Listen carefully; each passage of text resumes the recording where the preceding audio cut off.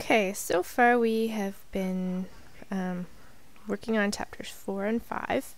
And in chapter 4, we talked about um, how things are characterized as living things, and then how they are classified into different groupings and how they're named. Um, the last part of chapter 4, we talked about viruses and, and why they're considered non living and how they use hosts to reproduce. Um, we talked about their lytic and lysogenic cycle. Um, then we moved on to chapter 5.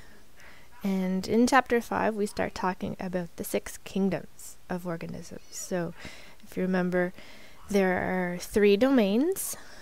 Um, there's domain bacteria, which has kingdom bacteria in it. There's domain archaea, which has kingdom archaea in it, and then there's domain eukarya, which has four other kingdoms in it. So, so far, we have talked about the prokaryotes. So, we've talked about kingdom bacteria and kingdom archaea. And this is just a little chart to kind of help. Sorry, Charlie is watching um, the Mickey Mouse Clubhouse in the background, so you might hear a little bit of tunes and him responding to it. He's saying, "Oh, doodles." Um. um. Anyhow, so the the prokaryotes are kingdom bacteria and kingdom archaea, and they have some things in common, uh, but when they were investigated further, so they, they used to be grouped in one kingdom, but when they were investigated further, it was found that they have very different biochemistry and genetic properties. So they were divided and separated into two domains and two kingdoms. So they're in separate domains and separate kingdoms. So kingdom bacteria and archaea include all unicellular organisms. Um, sorry, I should rephrase that. Um, all of kingdom bacteria and archaea are unicellular organisms. They don't include all of the unicellular organisms because we're going to be talking about some of the other unicellular organisms in the rest of this chapter. So, um, this chapter, chapter 5, deals with mostly microorganisms, which are mostly unicellular in nature. So, they are both unicellular, they're both motile, um, they both have uh, members that are autotrophs, and they both have members that are heterotrophs. So some of them are autotrophs, meaning that they can uh, make their own food, and some of them are heterotrophs, meaning that they have to eat other organisms in order to get their um, energy. So, how are they different? If you look on here, they're kind of highlighted, but we said the biggest difference is in, in some of their biochemistry and in their in their DNA, which codes for differences in their cell walls. So, the cell walls of bacteria are um, they have peptidoglycans in them. Okay, so there was gram positive and gram negative bacteria, um, but both of them do have peptidoglycans in their cell wall. It's just a matter of is their cell wall really thick with peptidoglycan, or is like is there two layers, or is there one layer, um, that sort of thing. Okay? But in Kingdom Archaea, the organisms that are grouped in there have cell walls that are made of special lipids that are capable of withstanding um, really extreme conditions. So we find members of Kingdom Archaea living in really strange um, environments that you wouldn't think that they would that anything would be able to survive in. So we said there were three groups. There were the methanogens that produce methane. There were the halophiles, which love salt, so they would live where there's really, really, really high concentrations of salt that no other organisms really um, tend to like. And then there's thermoacidophiles, so thermo meaning hot or heat, and then acido meaning acids. They really like places that are hot and acidic, so you find them in um, right near the, the vents at the bottom of the ocean. They're really hot hot vents uh, in volcanoes and things like that. So that that was the first kingdoms. Just a quick recap. So now we're going to start talking about those found in um, domain eukarya, so the eukaryotes. And the first one we're going to be talking about are the protists. So we'll do their summary at the end. So, Kingdom Protista. All the organisms in Kingdom Protista are eukaryotes. So we just said they are members of domain eukarya, and that implies they're eukaryotes. So that means they have um, nucleus in every cell, or pretty well every cell, and they are more complex cells. So they have membrane-bound organelles. They're larger. Um, they can do more things. Most of the members in Kingdom Protista are unicellular and motile, so they're moving around everywhere. Um, but there are some that are multicellular, and the ones that are multicellular are the seaweeds. So the seaweeds that we see at the beach, they aren't considered plant-like enough to be considered plants. So they are put into Kingdom Protista because of other features that they have. But they would be multicellular. We can actually see them. They're made up of millions of cells. Um, so they're multi multicellular, not unicellular. So why are all these unique organisms grouped together? Um, basically, because they don't really fit into any of the other kingdoms. So they're not animal-like enough to be in Kingdom Animal, in Animalia. They're not plant-like enough to be in Kingdom Plantae. They're not fungus-like enough to be in Kingdom Fungi. So, instead, they're all put together in Kingdom Protista, and then they're grouped as animal like or plant like or fungus like um, in the major groupings. So this diagram, um, it's you have it in a small version in your notes, but you also have a handout that has it in a large version. And if you happen to have lost that handout, it has um, diagrams to label on the back. But it's also linked from Edmodo and from the class notes page. So uh, you can get a bigger version of this because it's it's uh, really it's a useful study tool if if you think of different ways that you can use it. Okay, so right at the top it says why are they grouped together? Basically, again, because they don't really fit into any of the other kingdoms. They're not they don't have enough of the features to be considered members of those kingdoms. So, we have three major groupings. We have the plant-like, which are often referred to as algae. We have animal-like, which are usually referred to as protozoa. And then we have the fungus-like protists. The plant-like ones are plant-like. So they are photosynthetic autotrophs, meaning, or you could say photoautotrophs. They are able to make their own food using energy from the sun. So they harvest light energy from the sun and they can put it into food stuff. And these are the examples we'll be looking at, and they will make a little more sense after we actually um, talk about them a little bit more. Um, so we have three, these are phyla, phylum names. And if you notice, they all end in phyta, and phyta means plant. So these are the plant-like um, protists. Okay, and the examples are there to remind you, and you should really know an example from each phylum, but they're to remind you of, of some of the common ones that we'll be talking about. So these are unicellular, and then these would be would include seaweeds.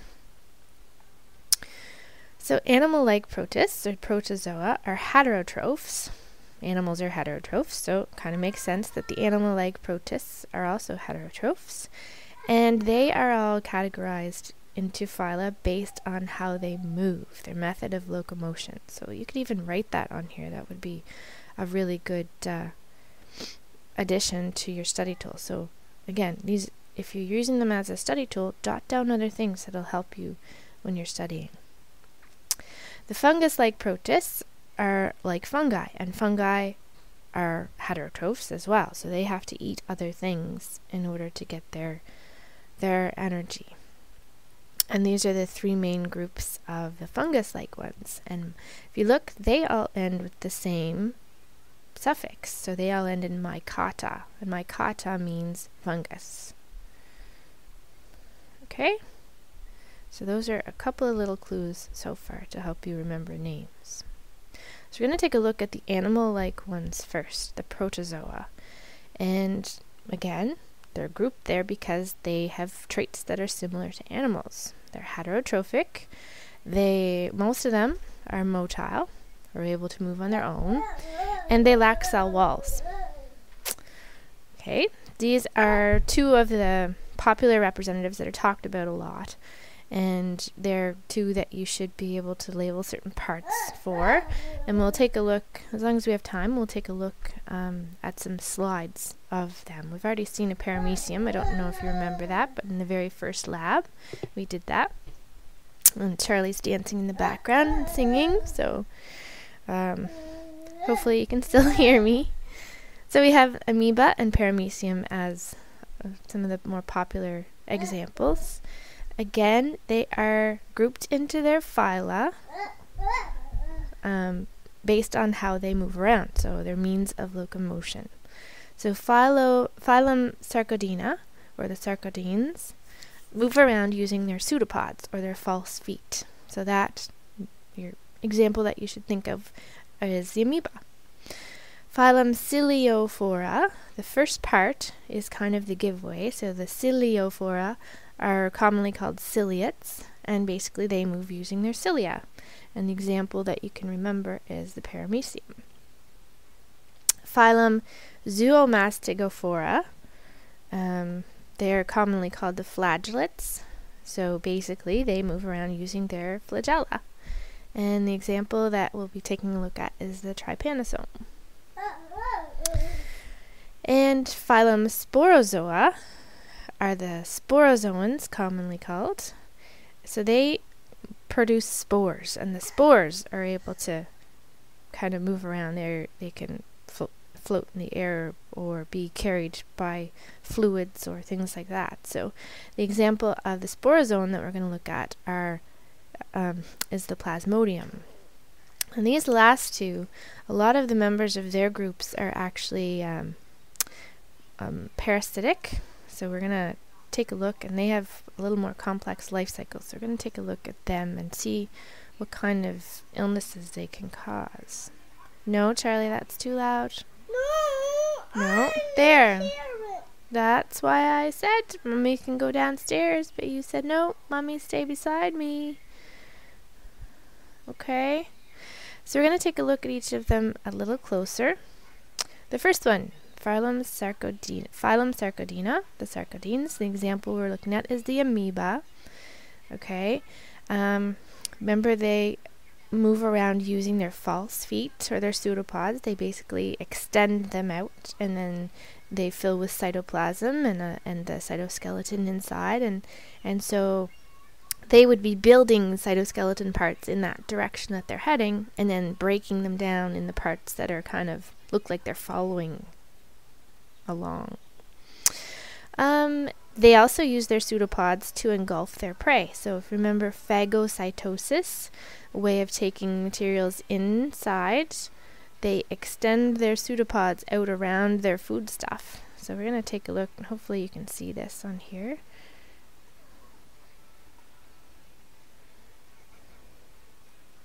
Hopefully it'll work.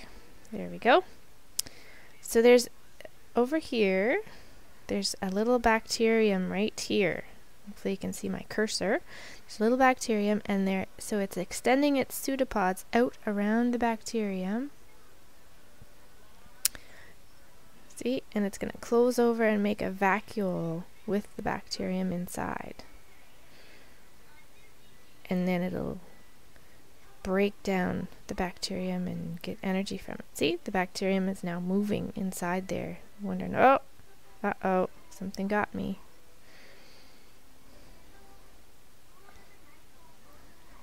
Okay.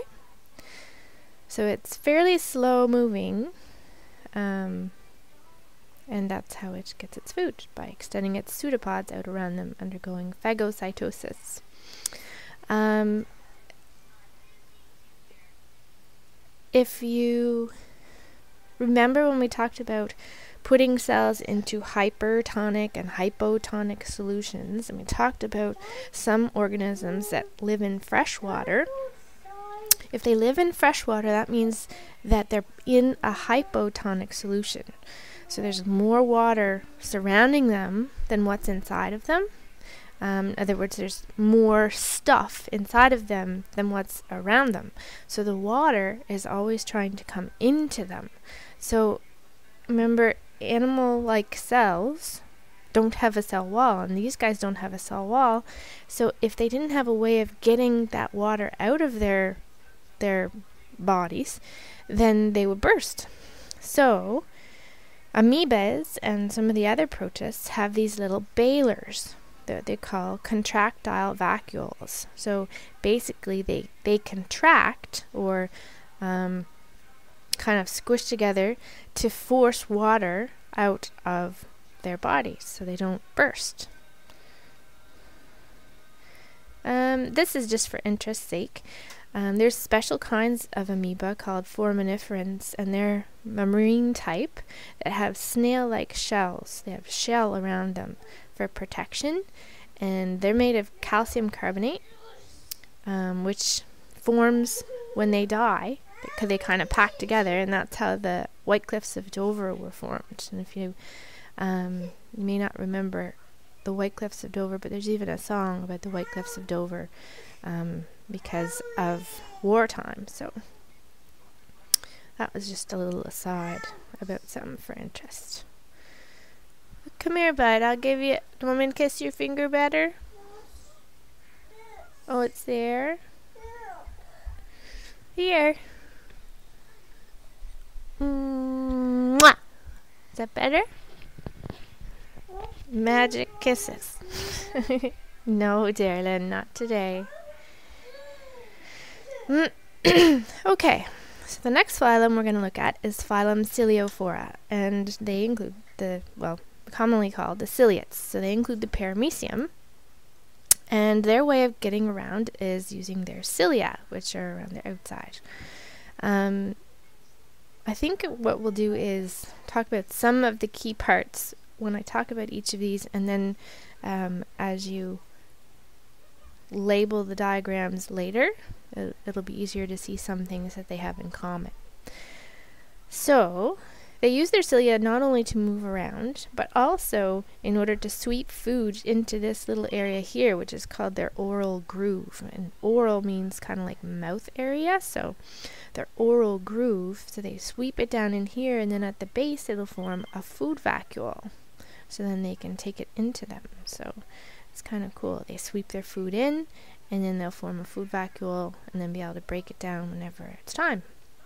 So they also have a contractile vacuole, see, for um, forcing water out. And they have, uh, they're kind of shaped like a slipper, and they can maintain that shape. And amoeba doesn't. Amoeba are always moving because they're they're extending their pseudopods, right? But these ones have a fixed shape because of this outer um, coating called the pellicle. And the pellicle is kind of hard, but it's not as hard as a cell wall, so it doesn't prevent them from bursting like a cell wall would, um, but it does help give them more of a, um, a consistent shape. Okay? And they also have two nuclei. They have a great big one, a macronucleus, and a little one, a micronucleus. So that is the basics about paramecium. So we're going to watch a quick little video there, some of them moving around. So they can move fairly quickly. And then this one, oh, stop. This one is just comparing flagella and cilia. Chlamydomonas are a type of green algae we'll talk about after.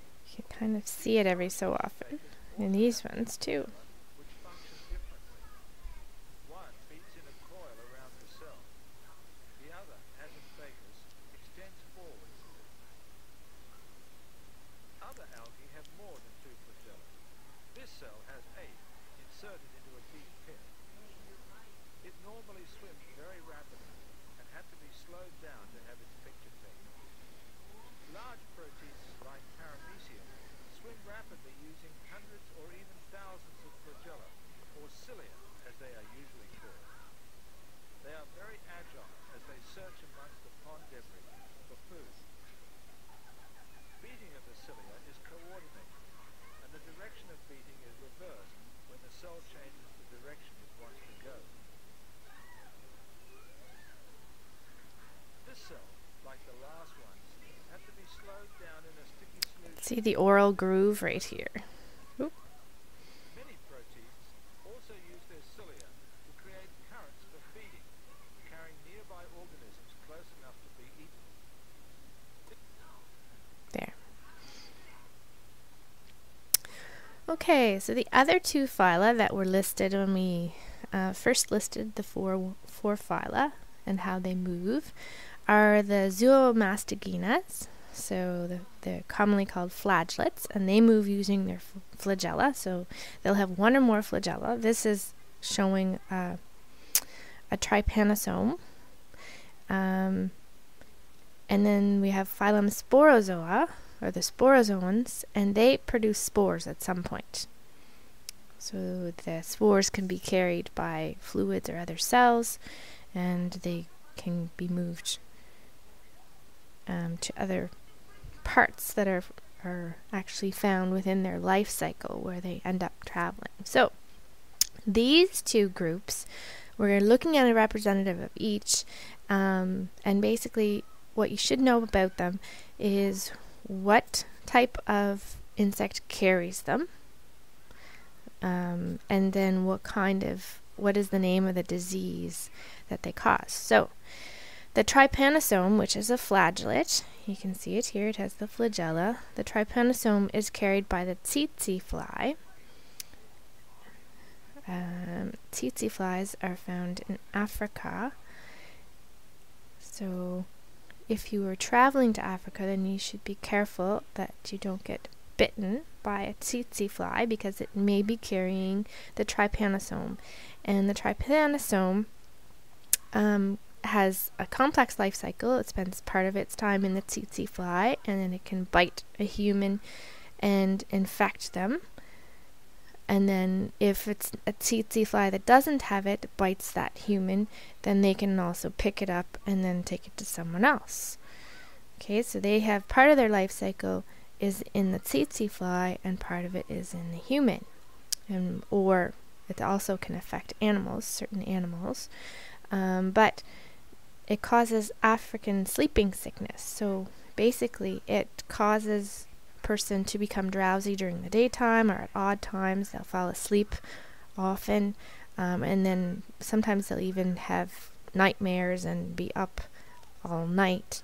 Um, so it really affects their sleeping patterns, but it can also gradually and eventually um, disrupt their nervous system and cause them to go into a coma. So it can be very uh, scary illness. So that is African sleeping sickness.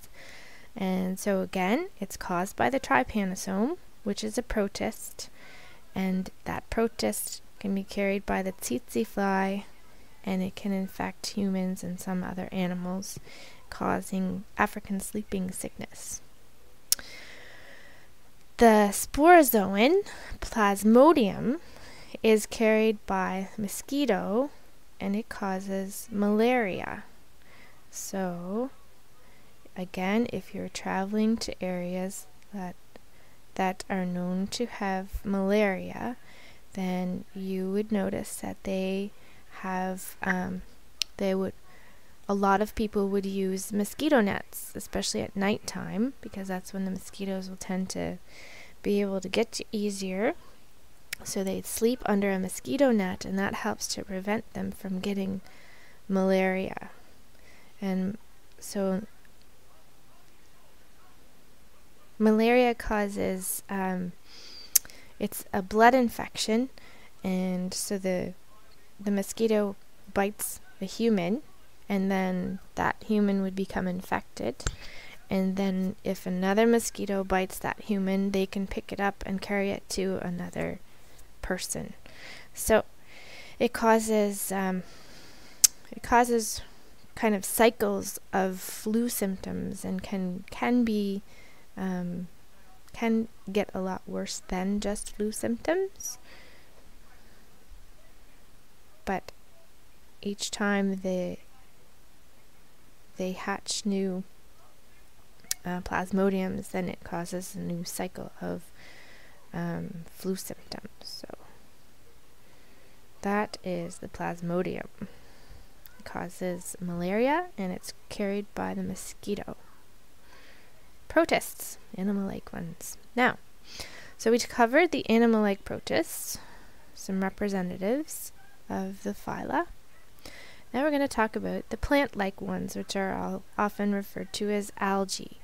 Now, algae can include more than just protists. We've talked earlier about the blue-green algae, and that was a type of bacteria. So, algae are plant-like um, unicellular organisms that are found in plankton, and that's kind of um,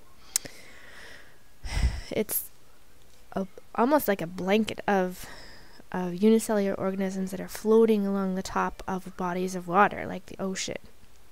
And they will provide um, food stuff for bigger fish and um, other organisms, other aquatic organisms, and birds that live nearby too, or that are floating or that are um, flying over the waters. And, and uh, yeah, so they they're a really important part of the food chain. And so we're going to look at some some of the types of algae that are protists. So these are plant-like protists. There are unicellular and multicellular types again. So the unicellular example that you're going to have to be able to label parts for is the euglena. Um, multicellular ones, if you can think of the different seaweeds that you see at the beach, then you'll have some examples in your mind. So they are autotrophs again, so that means they can make their own food, and they have chlorophyll and carry out photosynthesis like land plants do. So they are plant-like. However, they lack true leaves, roots, stems, and water conducting tissue that plants have. So we're going to look at some of the phyla that are unicellular, that include unicellular algae. Um, and the first one we'll look at is the Euglena. So it's phylum Euglenophyta, and they include the Euglena. And we'll be looking at um, one in a slide. So they have chloroplasts for photosynthesis, but these ones are unique, unique in that they can also hunt for food. Okay, so plants don't usually hunt for food, but these little guys can actually hunt when they need to. So if there's not enough light, they can still get food by hunting and um, taking in other things for food. So they have right near their fla flagella, right near the base of their flagella, they have, I don't know if you can see my cursor, so maybe I can circle it here right here. That is the eye spot, and in a lot of drawings it'll appear red. Um, but basically, it is sensitive to light, and it allows them to be directed towards the light so that they can move towards the light for photosynthesis. Like the paramecium, they have a pellicle around the outside, so again, it's not as hard as a cell wall, so it's not going to keep them from bursting when the water keeps coming in um, but it does give them more of a defined shape. But they can still kind of change their shape a little bit, and we'll look at a little video here that shows, or actually this picture even shows it. They use their flagella for movement, but they also use uh, what they call euglenoid movement, where they kind of just squish themselves up and then spread themselves out. So I think this one might even show it. Yep, so he squishes himself up and then pushes himself along. Now he's not moving anywhere right now because they have they have it in I'm saying he Um, it isn't, because they have it in kind of a jelly that keeps them from moving quickly so that we can actually see them. But that is euglenoid movement.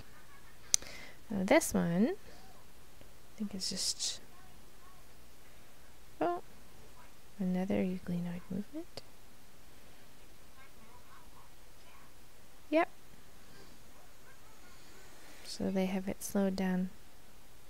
I'm not really sure why I had both of those there. Anyhow. This would be a whole bunch. Um, you could find them like that in a drop of water in a pond. So they are very plentiful in fresh water. Okay, a couple of other um, phyla of unicellular algae. So we have phylum Chrysophyta, and they're commonly called the golden algae, and they're one of their main members are the diatoms, and they're really cool. So if you look at them, they come in all different shapes and sizes, and they have really, really cool, um, like a translucent appearance because their cell walls, their outer cell walls, are rigid layers of silica, which is like glass. So they're like, like tiny little glass creatures. Um, and they're hard. But they're so tiny that we wouldn't necessarily notice them. Like if you were had them in your fingers you might not notice them that much. Um, they are actually the most abundant unicellular algae in the oceans. They are hugely important. They're at the bottom of the food chain. They are the primary producer um, the dinoflagellates are also up there in numbers, but these ones are, the diatoms are the highest in number, so they're the major, major source of atmospheric oxygen. Um, as they undergo photosynthesis and make foodstuff for things higher on the chain too, um, they're producing or releasing oxygen. So they're one of the biggest components of plankton out there in the waters. Um, we they're also important for industrial use. So people will harvest them and they they'll use them for feed stuff for animals, but they'll also use them because they're they're so tiny and hard. They work really well in polishes and toothpastes as an abrasive to help clean things. So that is the diatoms. Now, pyrophyta. Pyro, I think pyromaniac is, is someone who is like fire crazy. They they they really like playing with fire and it's kind of scary.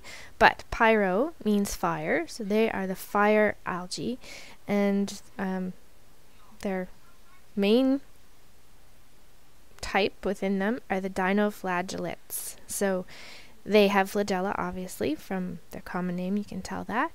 Um, they are they have protective hard coats of plates, cellulose plates. Here's a, a real picture of one. These are just black and white diagrams, and they have really different shapes, a lot of different shapes.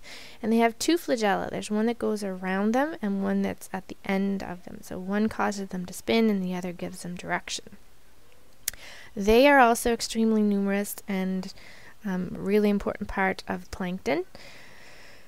They're at the bottom of the food chain along with the diatoms.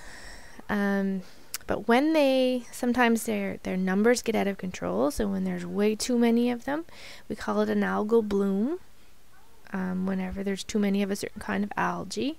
And whenever there's too much of this one, then it causes what we call the red tides because they appear red and it causes the, the, the tide to appear red. So if you were looking down from like a plane, then you would see the red in the water.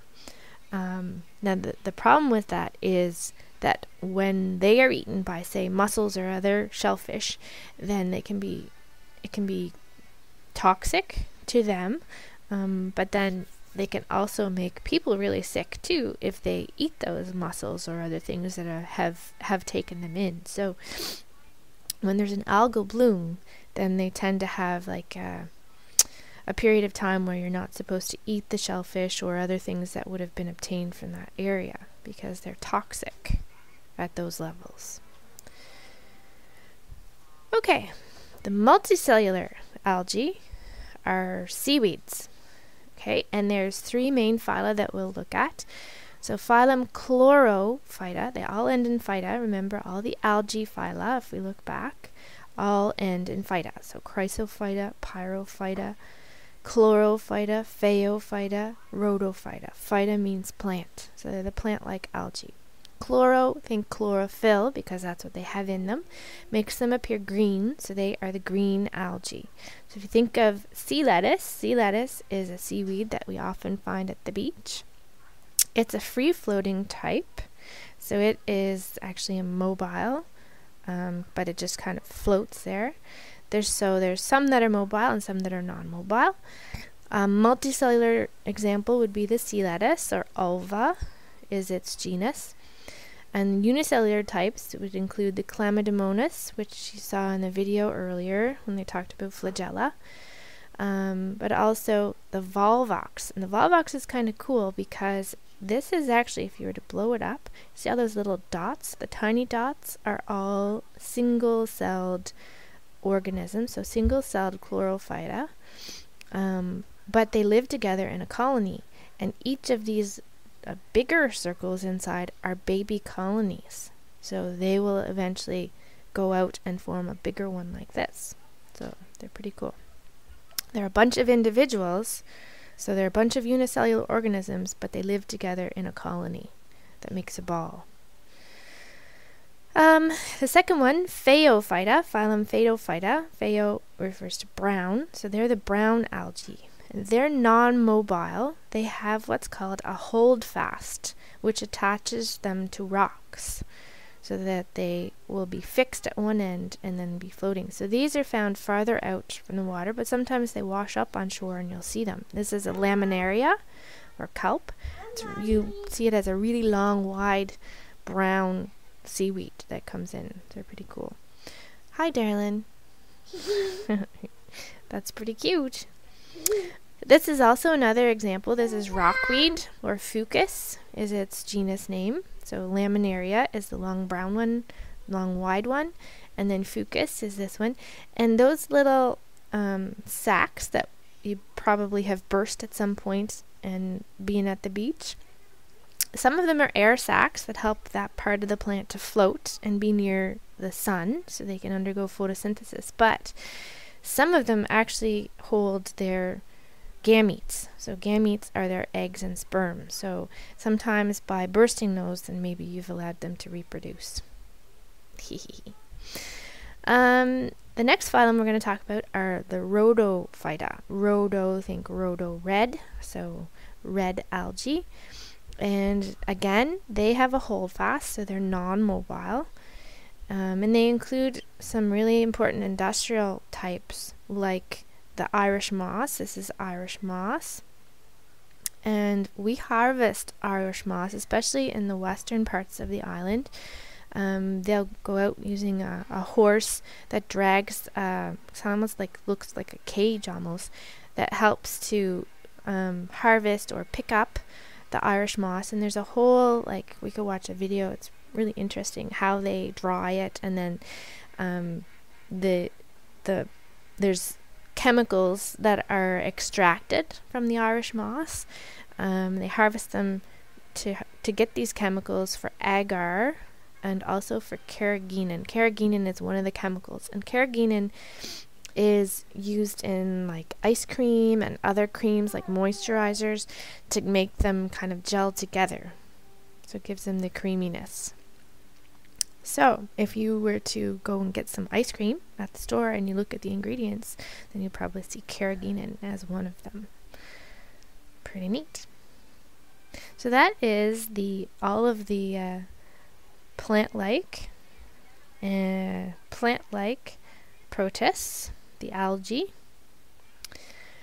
This diagram, you should be able to label certain parts. Certain parts are common to all of them and so you can check this out on the website at any time to like double check if you've gotten them right or not, but these are key things that you should pick out. I don't necessarily expect you to label everything, um, but but key things that are unique, or sometimes they're shared between them. They all have the same kind of parts.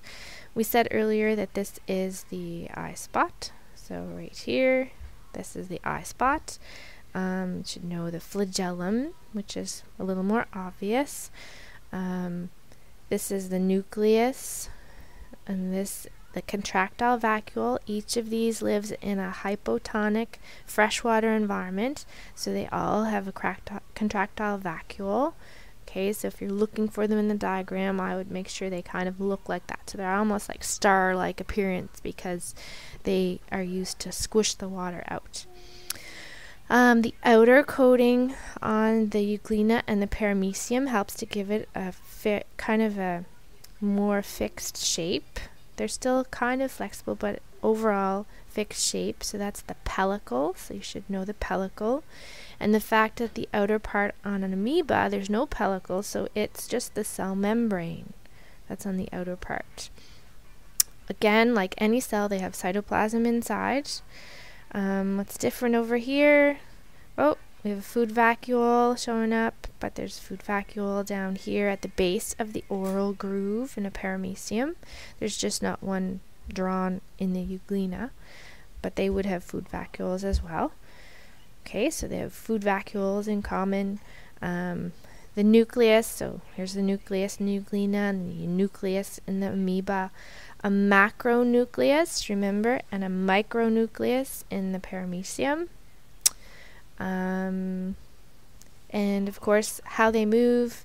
The amoeba uses the pseudopods, so if there's lines pointing to these little extensions, then that would probably be the pseudopods. And the paramecium moves using their cilia. Okay, so that highlights most of the parts. My little fella is doing a fashion show for me. He's finding all these clothes and taking them out to show me. So, um, just to recap, we've already talked about the animal-like protists. So that the main examples were the amoeba and paramecium. Um, the algae or the plant-like protists. These were all the unicellular phyla that we looked at and examples of them to help you remember key things. You might want to put extra little things beside them that made them stand out. So this one, for instance, the diatoms, they're the primary producers. Um, they're the primary ones found in plankton, so they're really important for um, providing foodstuff, so photosynthesizing and providing foodstuff for other organisms. Janae, honey, I'm recording a lesson. Shh, okay? He's she's laughing because her little brother has her pink flowery jacket on, so it's kind of cute. Um, the pyrophyta, remember fire algae, they're the ones that form the red tides. Uh, but the diatoms are the ones, again, they're the, the, they're the number one in numbers for producers, but they're also um, used as abrasives in toothpaste and polish, that sort of thing. So these are the three types of seaweeds, although there are other unicellular green algae that were also mentioned. Okay, so the Chlamydomonas and the Volvox were examples of unicellular ones, but these ones are the the multicellular.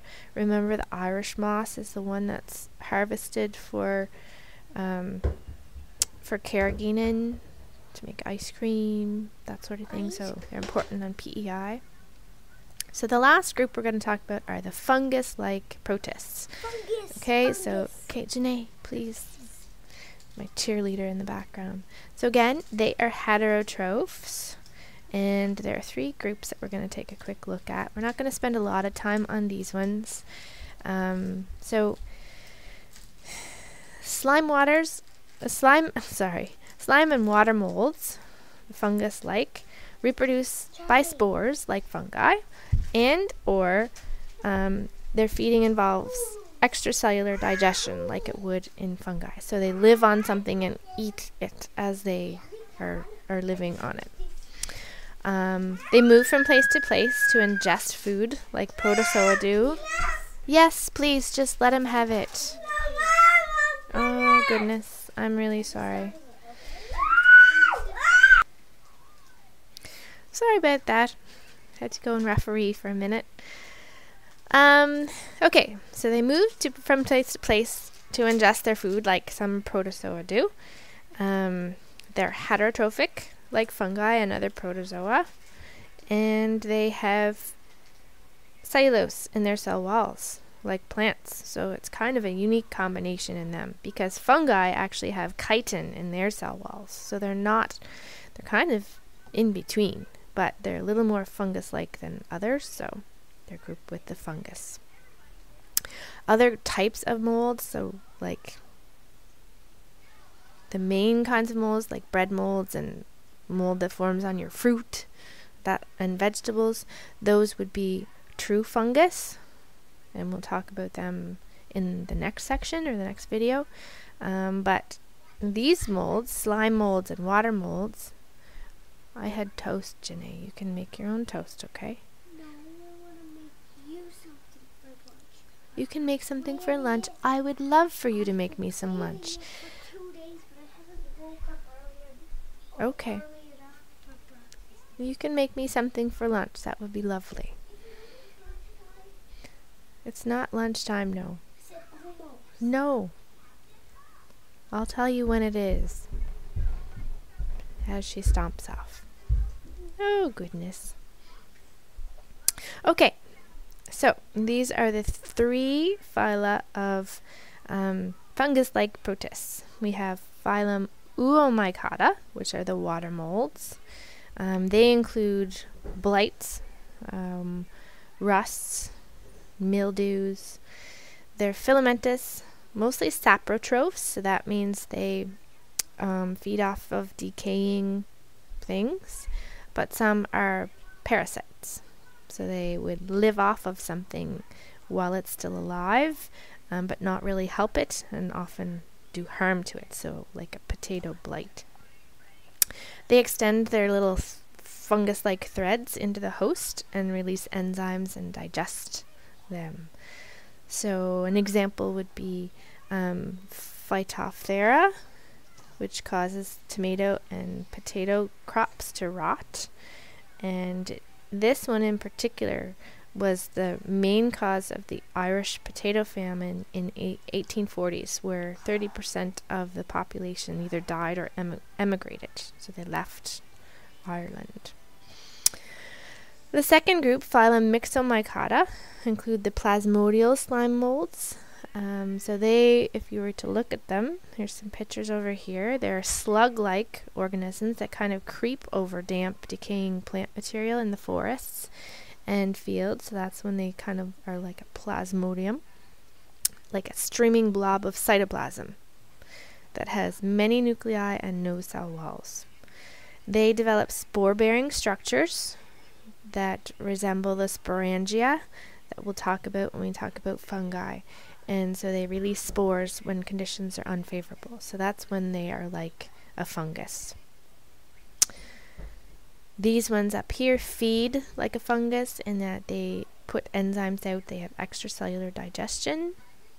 Okay, but the second group, um, they produce reproduce using spores during unfavorable conditions. So that is like a fungus.